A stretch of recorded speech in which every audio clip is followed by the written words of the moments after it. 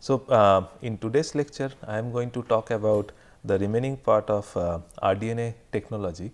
So, today I will go through a one specific example and try to show you how to design a cloning experiment. Um, what I am going to do is a very basic experiment where we are going to clone a particular gene into a vector and then insert that into a bacterial system. So, I will talk about designing a PCR reaction.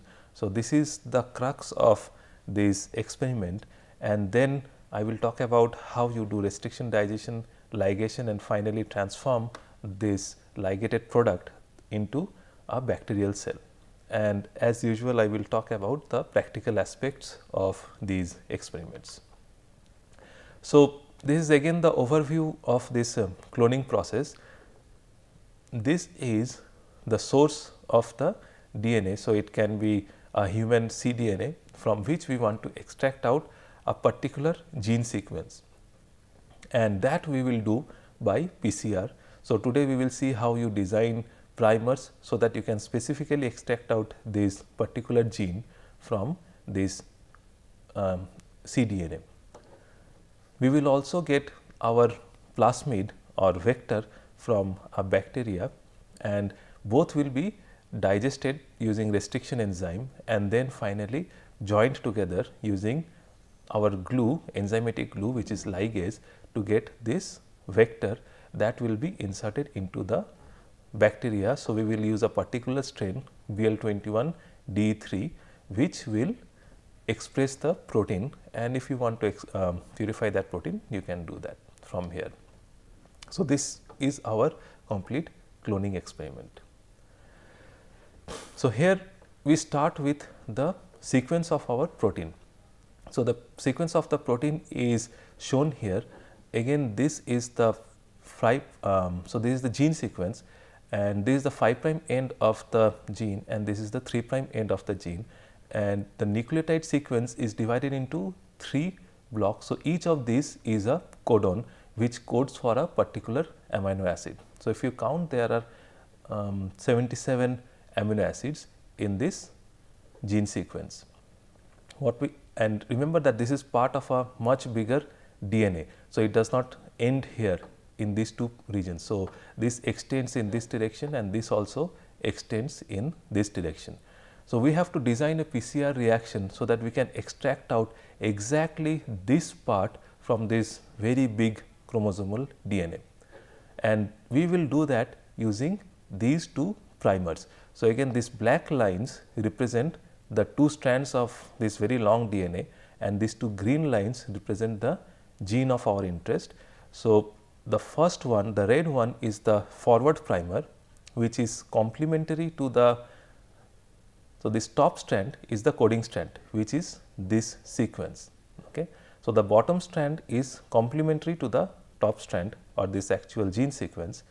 Now, this primer is complementary to the bottom strand which means that this primer sequence will be exactly the same as this top strand.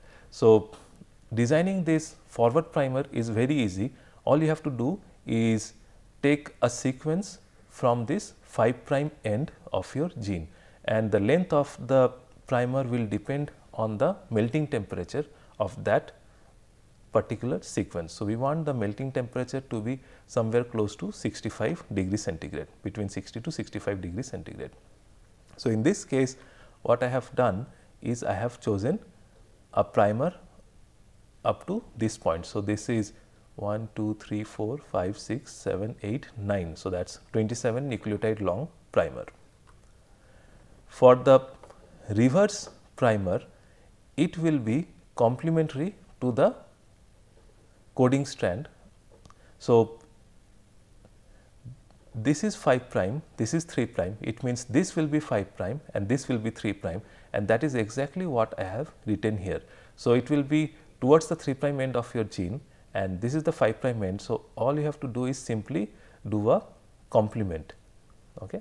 So, again I have taken a primer which is this long and then if you want to order these primers normally we send them as a 5 prime to 3 prime end sequences. So, the forward primer sequence is very easy it is exactly the same as the beginning of your gene sequence while the reverse primer is the complement and then you have to reverse it because we want to write the 5 prime towards the left end and 3 prime towards the right end. So, that is why it is called a reverse complement.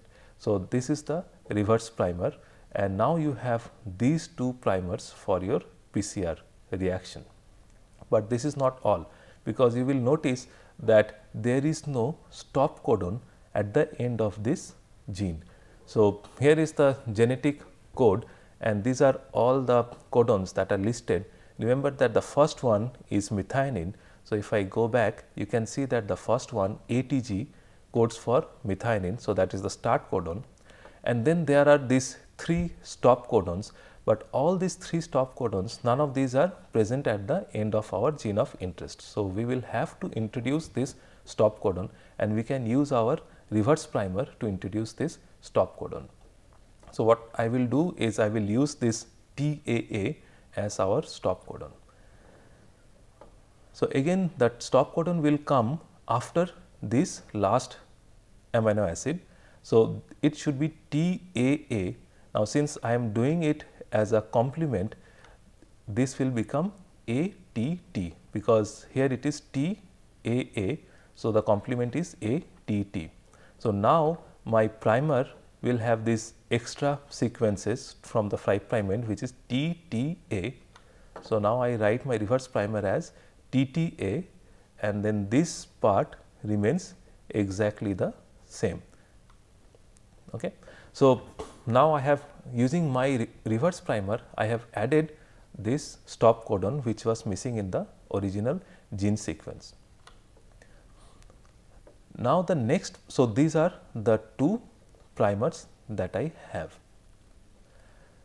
So, again going back to our cloning strategy, once you have the PCR product and once you have the empty vector, so this is we call them call it as an empty vector because it does not have our gene of interest encoded in it. We will have to ligate this into this and to do that we have to first digest both the empty vector and the PCR product by a set of two restriction enzymes. The reason we use two restriction enzymes is that then these restriction enzymes will cut somewhere here which is the multiple cloning site as I discussed in the last lecture. So, the multiple cloning site encodes for different restriction enzymes. So, if we use two restriction enzymes then what you get is two different overhangs in this end. So, you can see clearly that this overhang is different from this overhang. So, that it will not be able to go and complete this plasmid. So, it will not again go back to a circular plasmid. By using the same set of restriction enzyme on our PCR product, we will generate a restriction digested um, PCR product. Now, you can see that this complements very well with this and this complements very well with this. So, that when you put them together they can form the correct hydrogen bonds and you add ligase to form this circular vector with your gene of interest. So, in this example if you go through any vector you will see there are so many different uh, restriction enzymes. So, you will have to choose restriction enzymes whose restriction sites do not appear in your gene of interest. Otherwise, these restriction enzymes will cut in the middle of your PCR product. So, you do not want that. So, you have to be very careful in choosing restriction enzymes which will not cut anywhere between your PCR product or the gene of interest. So, these sequences should not be present in your gene of interest. So, we have done that and we have chosen these two particular enzymes. So, NDE1 cuts like this so, there will be a small overhang of two bases and BAMH1 cuts like this. So, that there will be an overhang of 4 bases.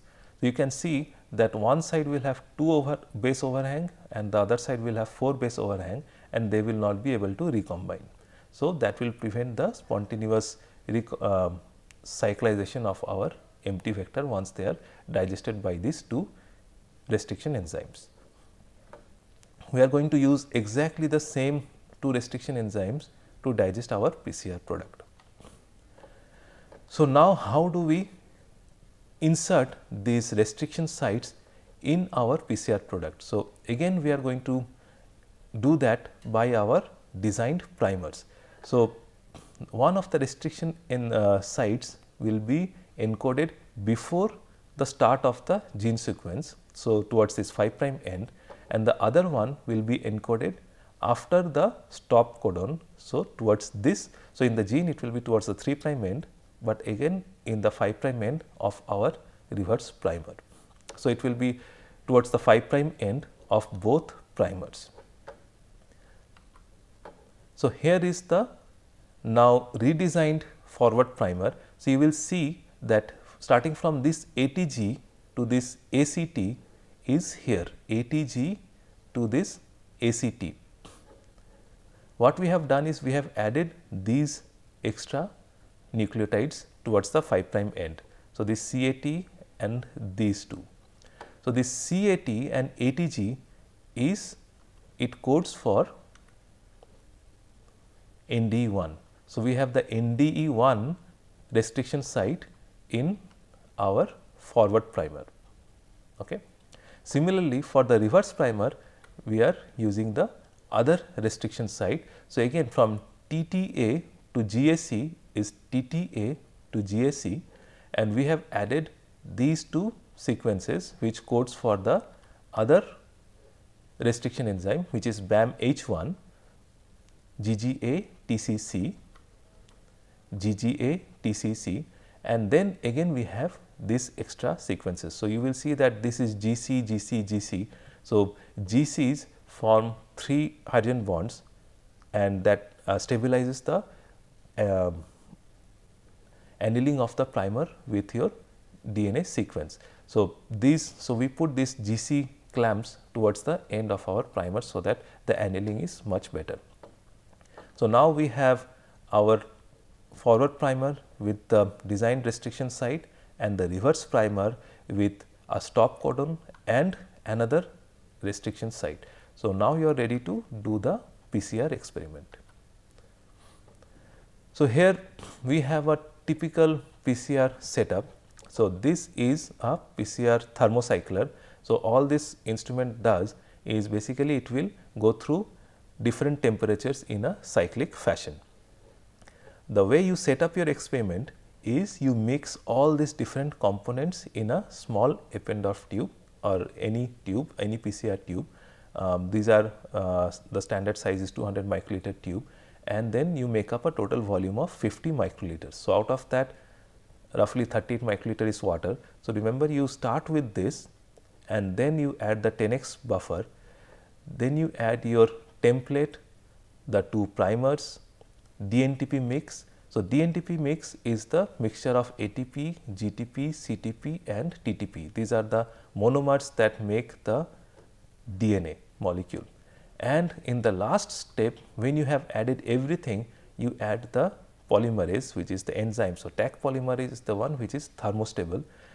You add it at the end and then you put it in your PCR instrument and start the reaction. So, this is again one of our a typical PCR cycle that we use. So, it goes in three steps. The first one is where the temperature is increased to 95 degree centigrade.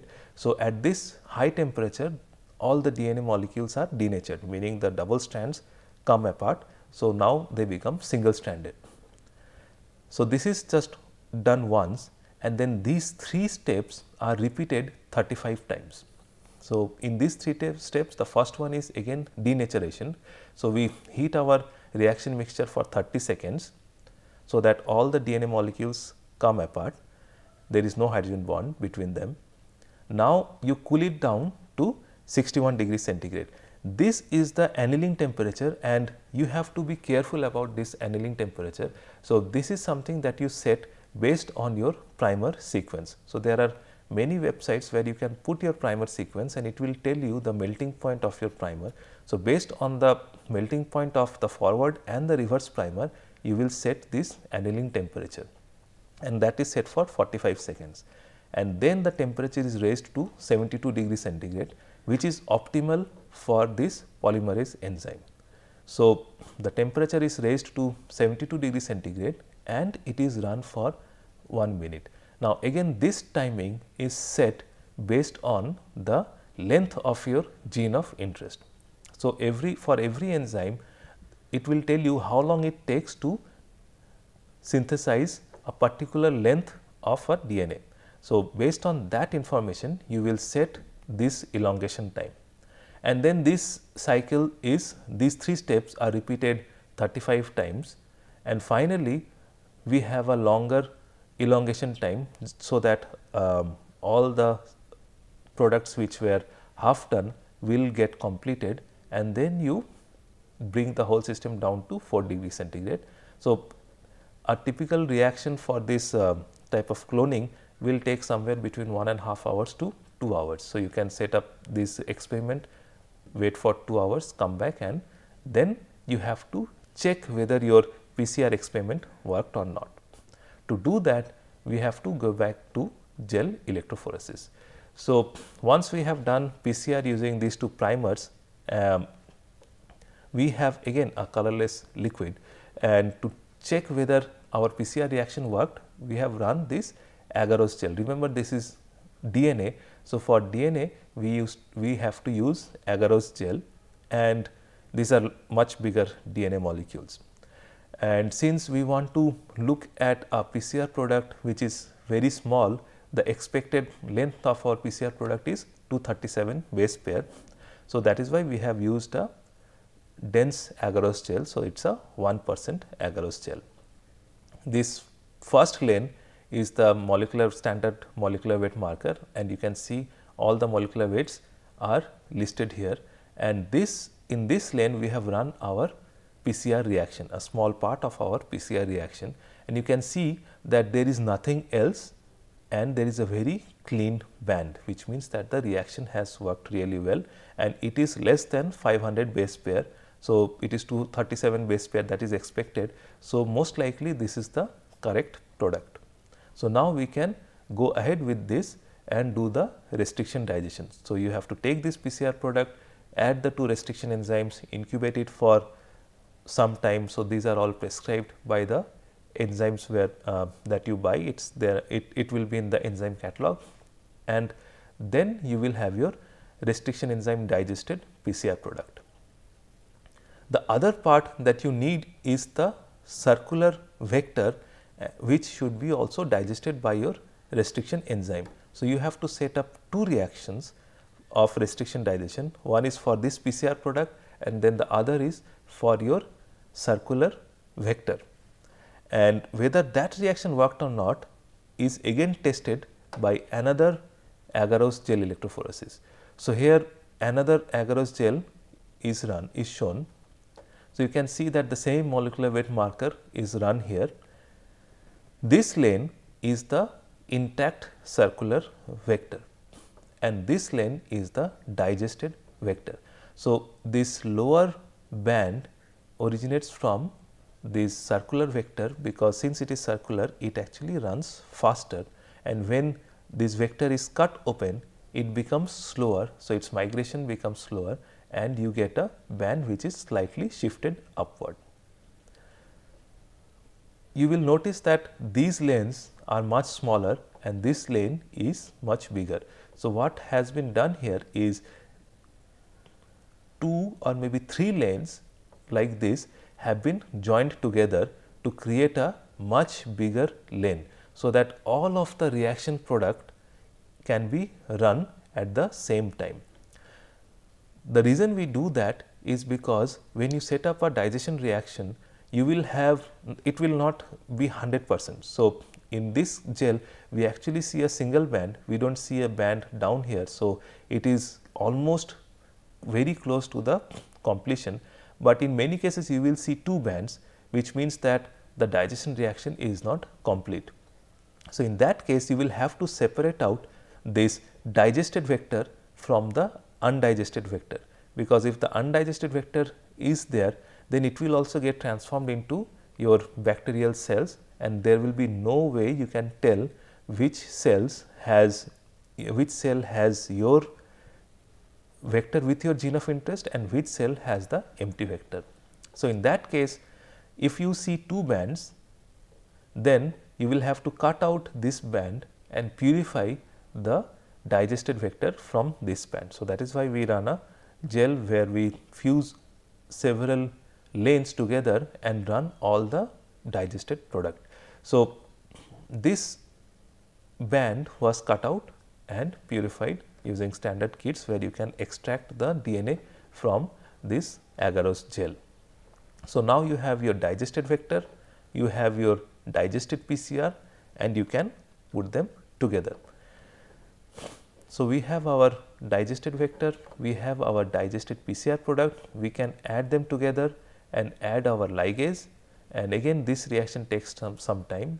So, depending on the enzyme that you use, you will have to set up a reaction and it is always advisable to use different ratios of the vector and the PCR product and set up at least 2 and if possible 3 or 4 reactions with different ratios because you do not know which one is going to work. And then you take your ligation product and transform it into bacterial cells and you plate those bacterial cells. So, the way this is done if you remember from the last lecture these vectors have a selectable marker. So, in this case let us say the selectable marker is kanamycin. So, only those bacterial cells which take up this vector will have that selectable marker. So, in our agar plate we have we add kanamycin. So, the E. coli cells which have this vector will survive and all other cells which do not have this vector will die off. So, you transform your bacteria with this vector, you plate it on an agar plate, put it in an incubator at 37 degree centigrade overnight and come back next morning to see whether your whether you get colonies. So, there are two types of bacterial cells that we use. One is DH5 alpha and the other one is BL21 lambda DE3. So, the DH5 alpha bacterial cells are the ones which are used when you do this cloning reaction. So, you will add your ligation product to these bacterial cells, plate them and next morning when you come back you see these white spots. These are the colonies that have grown overnight. So, these are the cells which took the plasmid in and have survived in this agar plate which also has kanamycin because the plasmid has the selectable marker. So, then you pick one of these colonies, you can run a PCR again with the primers and if that PCR works you know that the plasmid is inserted in this and then you can keep that as a stock in the lab. These type of cells are typically used to maintain a plasmid library because they so these we do not use these DH5 alpha cells to make our protein. To make proteins to overexpress the protein we use a different cell which is BL21 lambda DE3. So, you have to extract out the vector from these bacterial cells and transform them into this type of cells. And again the process is same. You wait uh, incubate it at 37 degree centigrade overnight. Next you come back and you will see colonies like this. And you can pick one of these colonies and then you have your clone that you can use to express your protein of interest. So, all the other experiments that you want to do will be done using these clones that is picked from a plate like this. So, this is the overview of our cloning experiment. So, today what we have done is we have designed a PCR experiment. We have designed primers to do the PCR experiment so that we can extract out our gene of interest and the way we design the primer is such that we extract out the gene of interest, we amplify it, we also encoded a stop codon and we also designed sites for restriction digestion. And then we use that restriction, two restriction enzymes to digest our PCR product, digest our vector, then we used ligase to ligate these two digested products and then transform them into our bacteria of interest for production of protein. So, again these are the books that uh, we have followed and thank you very much.